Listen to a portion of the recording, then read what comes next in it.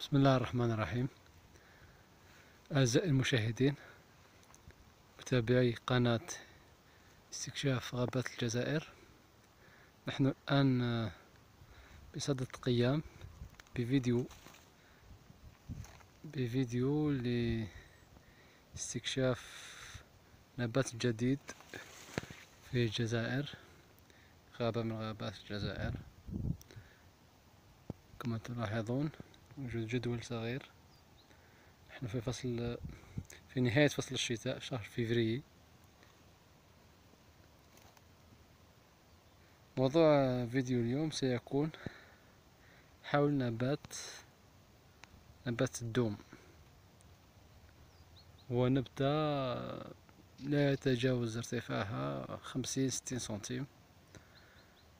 لها عدة استعمالات في في منطقتنا في الجزائر يمكن آه، استعمالها لصناعة القفاف قفة يمكن استعمالها لصناعة السجاد. تستخدم كذلك آه، في صناعة الحصير. آه، هناك عدة استعمالات يعني لا يمكن حصرها.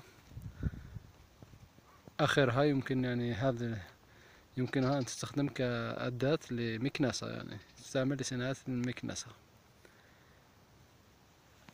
الآن سأريكم الآن أين هو الفيديو أين هو هذا النبات هو متواجد أمامنا.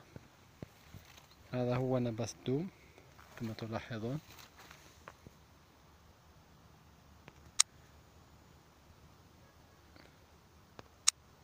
هذا هو نبات الدوم شجر نبات الدوم. أوراق له أوراق هذه هي الأوراق. هذه هي الأوراق التي تستخدم في صناعة المكنسة. المكنسة التقليدية من الدوم. أما فيما يستخدم فيما يخص استخدامها لصناعة القفاف هو أنه في شهر ماي نقوم باستخراج هذا هذا العود.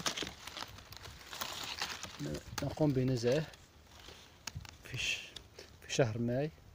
ثم نقوم بجمع الكثير يعني. ثم نقوم بوضعه في في مكان مشمس حتى يصبح لونه أصفر. يعني يجف من الماء تماما. ليقوم آه، أحد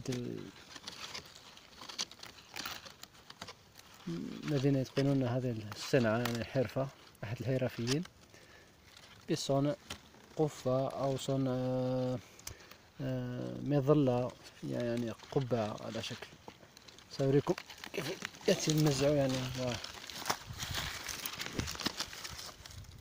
يعني هو ليس موضوعنا الآن هو موضوعنا الآن هو كيف يتم الاستفادة من هذه النبتة. من أجل يعني البقاء على قيد الحياة في غابة كيف تؤكل هذه النبتة؟ هذا هو الشيء المهم عندنا. سنقوم بوضع يعني هذا الدوم هو نبتة مفيدة آه، جذورها غنية بالأملاح المعدنية سنقوم بحفر هذا الفيديو في الأخير. سنوريكم يعني كيفية استخراج الغلة من هذا النبتة. سأقوم بإيقاف الفيديو لبعض الوقت. السلام عليكم. مرة أخرى. بعد أن قمت بالحفر عن هذا النبات يعني هو يعني نبات يقوم بتدوير بقوة. هذا هما الجذور لاحظوا. هذا هو الجذر. جذر نبات دوم.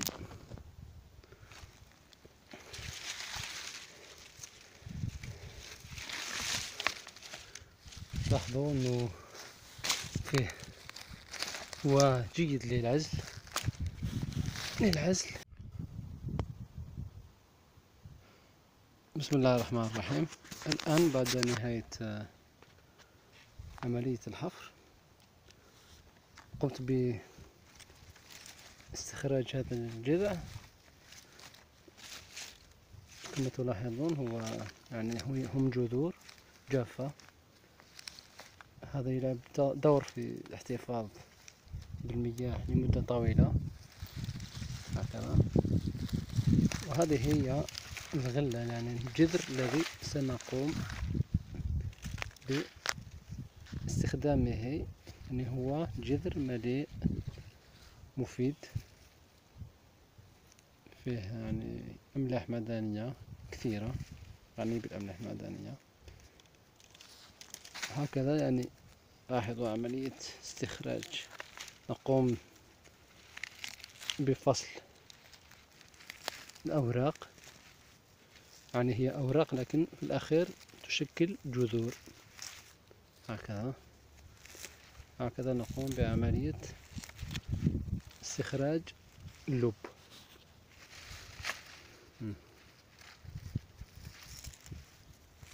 سأقوم بإيقاف الفيديو من أجل استخراج اللب بعد الانتهاء من أن تلاحظون أنه الجذع يعني ليس ب بالطويل. لو تلاحظوا عملية نزع جذور ستجدون امتداد يعني لم أنزع كل الجذر. بعد الانتهاء من التقشير هذا هو الدوم. هذا الذي سنقوم بأكله. مفيد. ونبات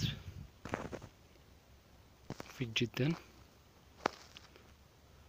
وهذا هو الذي يستخدم في صناعة في صناعة الحصير والسجاد. قبعات مظلة.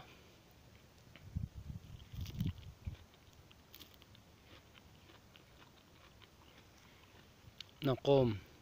يعني تقوم بأكل هذا الجزء. هذا هو الجزء الذي تقوم بأكله.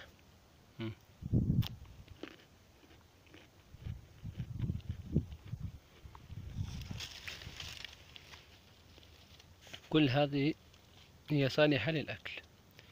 يعني نأكل المنطقة التي مبتعدة يعني عن التي لا يوجد فيها تراب. هي نقية جدا.